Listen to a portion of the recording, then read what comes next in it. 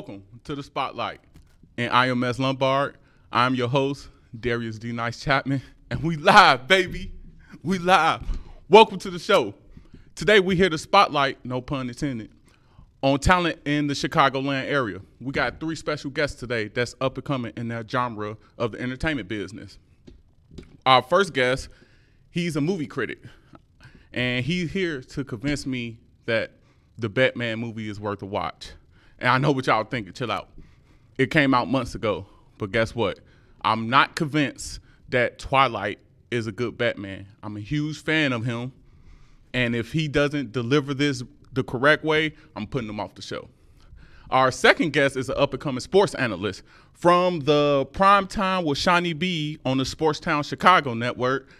Um, we're going to discuss the upcoming NFL draft that's happening tonight at 8 p.m. And we're going to talk about how the Bears, well, what are what they going to do? Are they going to move up in the draft? Deebo Samuels is still available. Hint, hint, wink, wink. And then we're going to talk about the devastating Bulls exit from the NBA playoffs. And last but not least, our third guest is a stand up comedian. He is a funny guy. I knew him for a couple of months and I feel like he's hilarious. His take on comedy is what's up. So, without any ado, Leo start the show. Hold on, hold on. Uh, let me get it cracking. Should I use my Batman voice? No, I'm just playing. Our first guest is Javi Lozada. He is the movie buff, and we're here to discuss the new Batman movie. How you doing today, Javi? I'm doing good. I'm glad to be on here. Thanks, th- thanks for coming. Before we get this started, we're going to play the trailer for you guys, a snippet.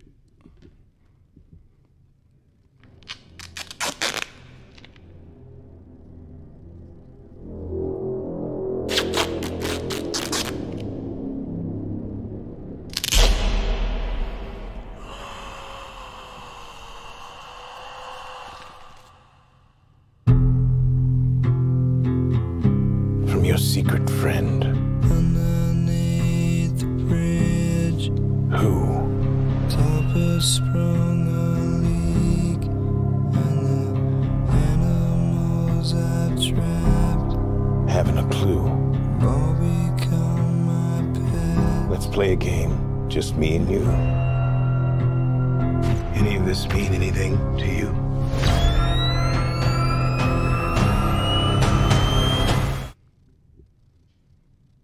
Whew. Whew. I tell you one thing, Catwoman, boy, whoo. Ain't that Lenny Kravitz's daughter? Uh, yeah, that's Zoe Kravitz Ooh. as Catwoman. I think she, honestly, in this movie, I think she's one of the best Catwomen. We don't see too much of her, I'll tell you right now. But I feel, I feel like out of all the Catwomen, like she's she's got a lot of potential. I, I hope to see her in the other movies. Come on, Halle Berry. you know that movie wasn't good. That movie was, it was entertaining. It was entertaining. Okay, I'll give you that, and I'll that's fine. But comic book wise and just like story wise, I come on, really watch it. Really watch that movie. It- and everybody, everybody will tell you that that movie is not good. I'm That's like one of the hated uh, cat women. because people are haters. I'm gonna watch it with my It- Vaseline. it's true. So, um, tell me how to, uh, tell me about the movie. Convince me. I'm here. All right. So one of the things, one of the main points I think about the movie that makes it separates it from the Christian Bale ones, especially. It's if you like Batman, which I, I can see you do. Oh, you know, yeah. um, I, if you really like Batman and you really like the comic books, you read the comic books. This is comic book Batman, and that's what all the other um, Marvel or DC fans will tell you. This movie really hit it with the detective work, and that's what people love about Batman because he's the world's greatest detective. So they want to see him solving crimes and cracking riddles and stuff like that. So that having the Riddler be his like enemy in this one was a really good move. I I think. Really. Because the world's greatest detective is always in small cap. Because we looking for Batman to come out the shadows and break your squiggly pooch. For Oh, don't don't don't get me wrong. He does it in this movie. I mean, it's still cool. Batman. The, the action sequence, sequences, excuse me, are great. Um, you know, it's it's not. I feel like as flashy maybe as Christian Bale's was, but he he's definitely beaten up, and it's a lot more savage, if, in my opinion. I think I feel like it's more raw. When he when you see Batman whooping him, he's you can almost feel it yourself. Really? yeah. Cause when speaking of the Christian Bale movie, when Batman when um Bane broke Batman back, I felt that. Oh, everybody felt that. Everybody felt that in the comic books. I felt that. I mean, it, that was that was really cool. I mean, it, it was done a little differently, and obviously the style they chose for Bane was different. I still think it was a great Bane. It showed that because Bane, is, what people don't know in the comic books is Bane is also very smart. Right. He's not only just super strong; he's very smart. Right. So, you know, um, people just expect him to be, oh, and then when he gets the Venom pumped through, and I think that was another thing they didn't have Venom Right. in the movie, so people were kind of upset about that. But um, I think he was one of the. I mean, compared to the other Bane, the other Bane was that I don't know if you've seen the Uh, old movie. Yeah, it was like Batman Forever or yeah, like he that. comes yeah. out, he's all yeah. green and stuff. Yeah, Yeah. that was that was bad. um is who is the best Batman to you? Um live action. We ain't not the cartoons, not the comics. I'm gonna have to go with uh, I'm gonna have to go with Christian Bale. I do I do like this new Robert Pattinson. He's promising, but I haven't seen enough of him. And honestly, the other ones, Val Kilmer, um, who uh, who else was it? It was Val Kilmer. Oh, I forgot the guy. Uh, the the other the other Batman. They they Adam West. I like them. Oh, Adam West will always be my favorite. But I mean, I only know really you know the Christian Bale ones. So I couldn't I couldn't take Adam West seriously because you know um being a fan you see where it comes from so you go back and look at it and like I couldn't like pow pow. Right. Well, thanks for coming on, Javi. Um, we'll come back after this commercial break, guys. This is the hand that sows the seed, that grows the forest, that drinks from the stream, that hugs the mountain, that gives shape to the wind, that carries the kite, that is flown by the child, that is loved by the woman, that toils at the job, that gives to Earthshare, that supports the hand that sows the seed. All life is woven together. How can we choose which environmental cause to support? Earthshare, the workplace giving program, makes it simple by bringing the leading environmental groups together under one umbrella. Support Earthshare, and you support them all, including the hands that sow the seeds and protect the forests and the streams and the children. To learn more, please visit our website.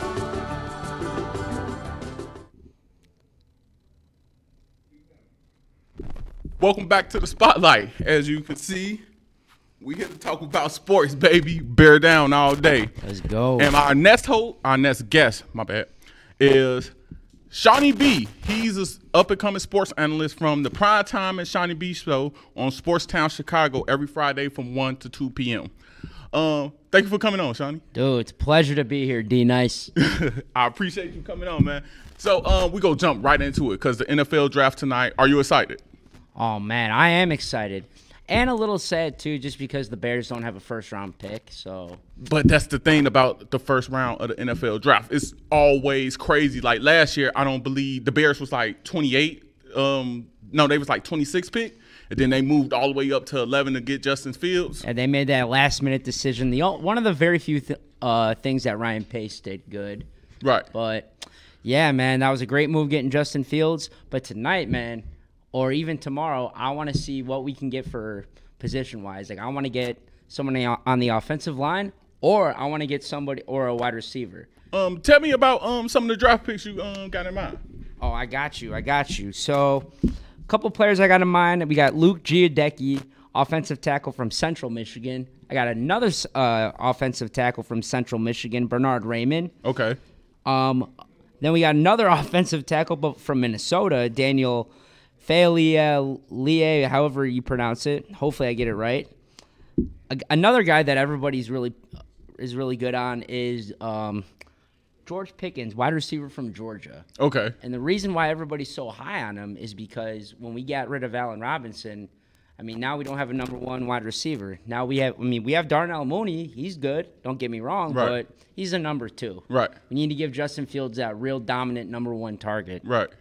Uh, I like um Darnell Mooney too. He's a deep threat, and with um his um arm, he um he's very effective. Um, I'm sorry, but um, you hit the hammer on the nail with um some of those topics because I got mostly all offensive linemen.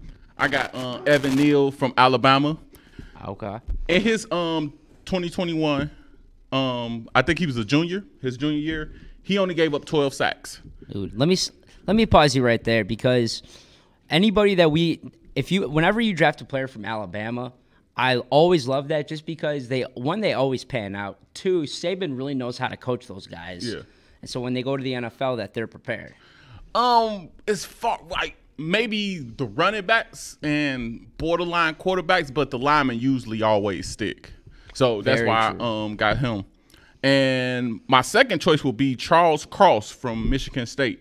He has great footwork. He's very fast for his size, and he has excellent awareness. Oh, I got more, baby. Man, you did some studying. I Yes, I it. did. Yes, I did. I was up all morning. And um, number three, I think we should get Ar- uh, Armand Gardner. He's a cornerback from the Bearcats. He had Oh. 28 solo tackles, three interceptions um, his last college year, um, and that's tied for 36. And we also should get Kyle. Well, try to get Kyle Hamilton. He a safety from Notre Dame. He had 19 solo tackles, and he also had three intersection interceptions.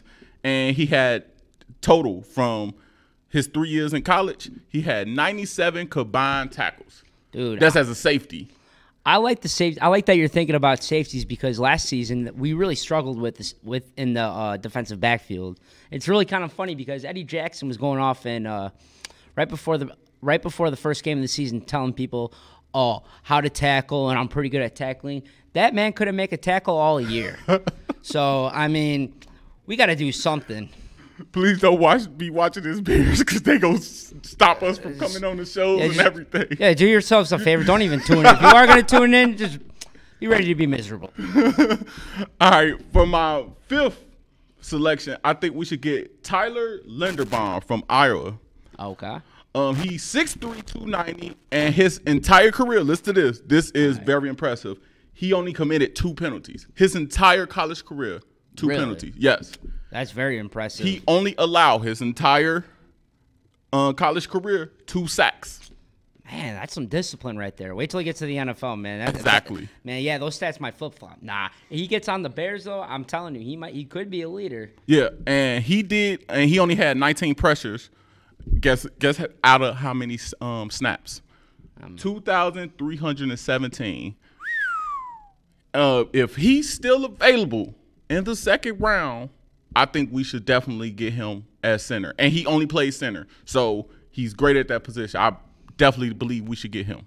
Dude, I agree with that. Not only we should get the offensive lineman from the draft, we made some good moves in the offseason too. We signed Lucas Patrick from the from the Green Bay Packers. Yeah. And I love how I love the way that Poles is thinking because they recently just asked him.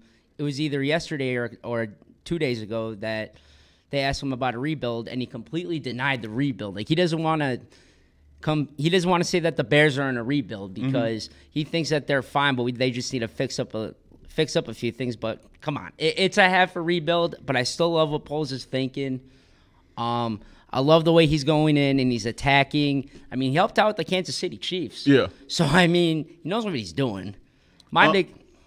Um, I'm sorry for cutting you off. Um, I'm um I'm halfway there with you because um he gave away a lot of our good players. Um, like you said, um Allen, he gave away Khalil Mack. Um, what's his uh Eddie Goldman, I believe. Eddie Goldman's gone. Um, Tarik Cohen's gone. Yeah. So he gave away a lot of people. So I'm guessing he's not saying it's a rebuild because he's trying to build around Justin Field, but it it looks like a rebuild, and it's going to be hard to get like veteran um, players to come here, like the ones still in their prime, not the one past their prime. Exactly. And one and speaking of veteran, not even yeah, speaking of veterans with talent, you know who uh who's on the market right now who I would love to come to Chicago, but I don't think it's gonna happen? Who? Deebo Samuel. Yeah, yeah, yeah. Um, I my- spoke about that earlier, and um, cause he's unhappy and um, It's unhappy. San Francisco. Yeah. Did you see that video where um he was in the club? Yeah. Someone had up a sign that was like Deebo stay. A- And, he's looking at the girl at, at the girls, he's like, nah. yeah, Deebo. Please, we need you. If you're Deebo, looking at this. dude, get a Super Bowl in five years, Deebo. Just come to Chicago, help us out for a bit.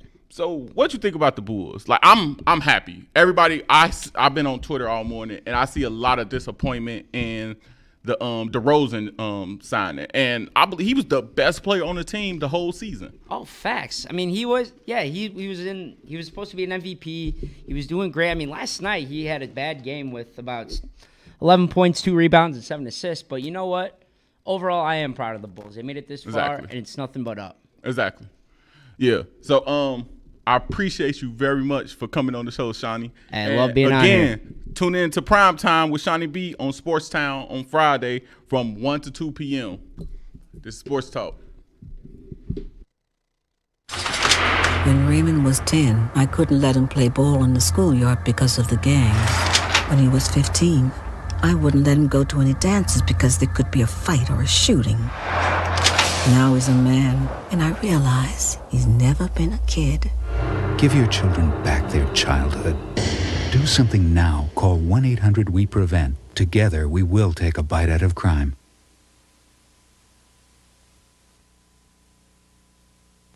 I don't know, I'm missing something there. This is New Guinea. It's so powerful. I don't see it. I'm having an out of decade experience. I was walking and came upon a fountain which bore the sign, Don't drink the water. Do you And the get beggar this? carries a Isn't sign it fantastic?" blind." What does this poem mean to me? It's like a collage of images. Let's and face it, not every cultural activity appeals to everyone. Finding an oasis. So we're giving you something everyone likes a choice. That's why 23,000 arts and humanities groups are inviting you to find something you can get excited about. Just call for a free brochure about what's going on in your community. I think I'm getting into this. They're tuning up. The arts and humanities, there's something in it for you. There's a lot going on in your community. For a free brochure on how to get involved, call our toll free number. Welcome back to the spotlight, guys. And our third and final guest today is the stand-up comedian I was telling you about. He don't want me to call him this, but I think it's a cool name and it should stick. Vincent Vito. How's it going? Thank you for coming on, man. I know you uh you a busy man. Hey, thanks for having me. No problem. Happy to be So here. we're here to talk about comedy. And I know your style of comedy is a little different. So why don't you tell us a little about it? Well, uh, nothing that hasn't been done before, but I like to uh, I like to stick to one-liners, kind of short jokes. I always find those a, uh easier way to uh, get people to laugh more. Yeah. Uh, shorter jokes means more laughs, so that's my that's my. Uh, It's different, but if you good at it, them little bang, bang, Yeah, bang, exactly. bang, those Little- those hits. yeah, the laughs per minute goes up a lot with those type of that Right, type right. style. So um tell me who inspired you to do stand up? Um, quite a few people. Um, like I said, with those one-liners, um, a lot of people have given me that style. So like Anthony Jeselnik, similar uh, with the one-liner style, or like a Bo Burnham, very uh, one-liner oriented. So those kind of guys definitely got me into it.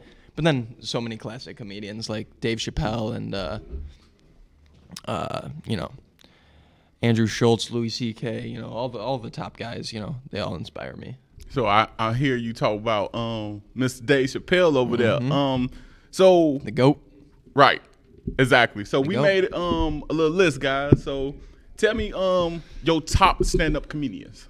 Well, I got, I got- like I just said, Dave Chappelle, far and away the go in my opinion. Hard to uh, hard to argue against that. Facts. Um, I got Anthony Jeselnik at number two. Um, one of the top comedians. Like I said, he's very similar, one-liner type of guy. So he inspires me a lot. So Mhm. uh, I have him at two. This is kind of more personal preference rather than uh, like who I think is the greatest. Right. Um, then I got Bo Burnham, very musical. Mhm. Uh, he has m- musical comedy, f- funny songs, and it's very creative. So Right. I'm a fan of uh, innovation. And uh, then Andrew Schulz and Louis C.K. Uh, pretty classic comedians. You know, nothing too different about what they do, but they just do it very well. Right. No, that's a very impressive list. On my list, my list is not in order. I'm just I was pinning it down and I had to think about my top five stand-up comedians. And one of them is Eddie Murphy.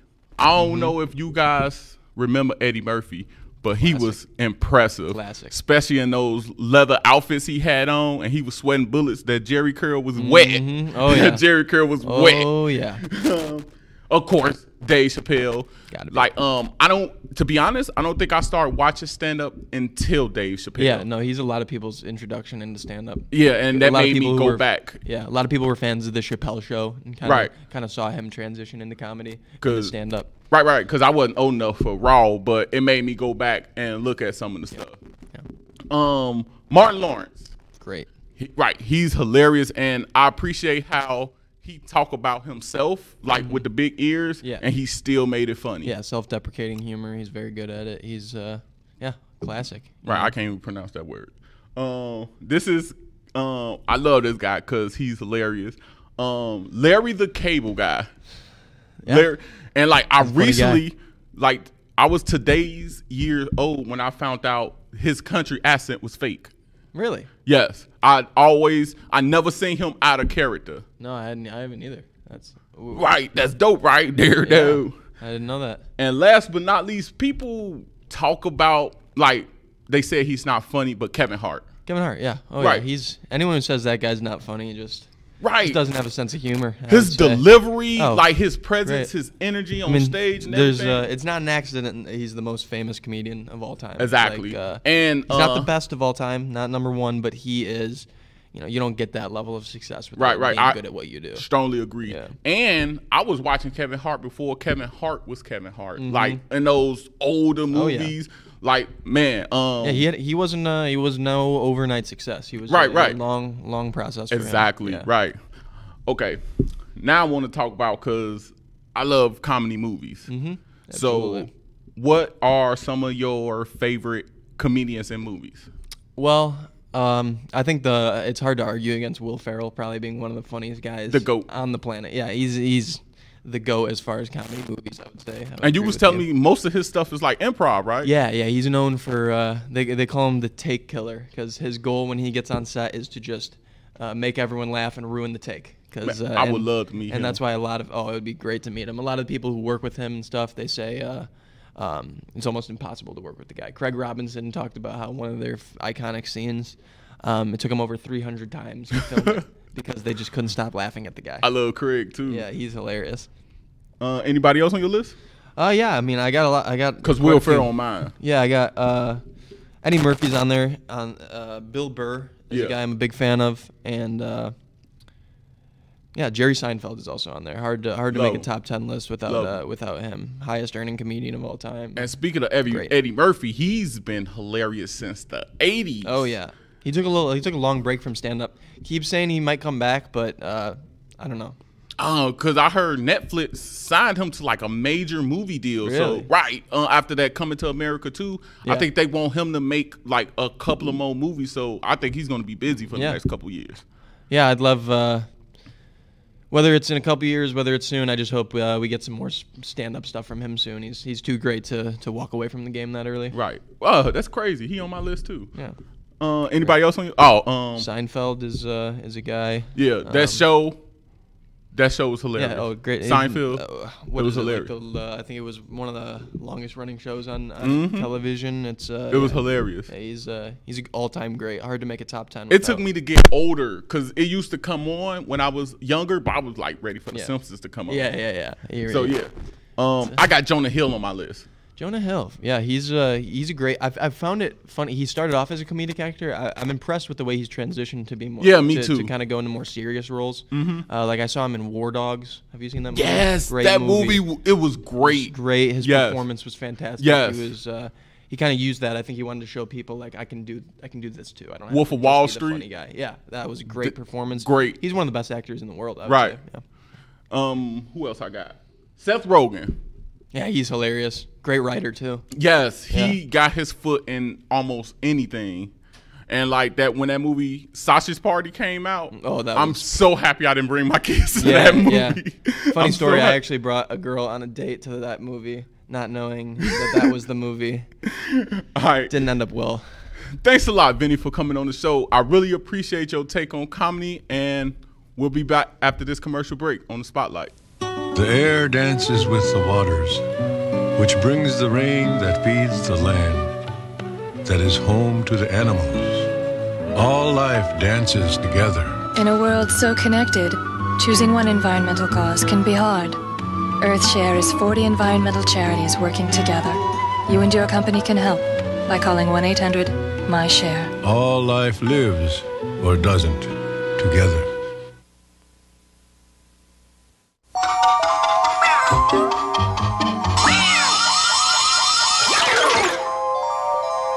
Janine woke up in a cold sweat with one thing echoing through her brain. Who was this guy in her bathroom? Meanwhile, Barry was thinking, whose bathroom am I in? Janine remembered going to the party the night before and getting smashed out of her mind. Barry remembered getting drunk and acting really stupid. Eventually, The whole evening came back.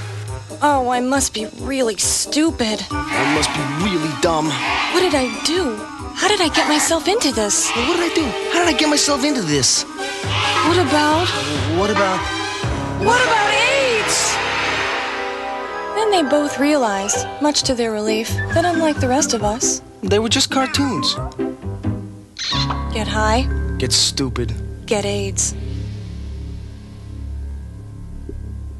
Welcome back to the spotlight, and we have all three of our hosts on here saying goodbye to you. So, we're gonna go in order that you guys came on the show.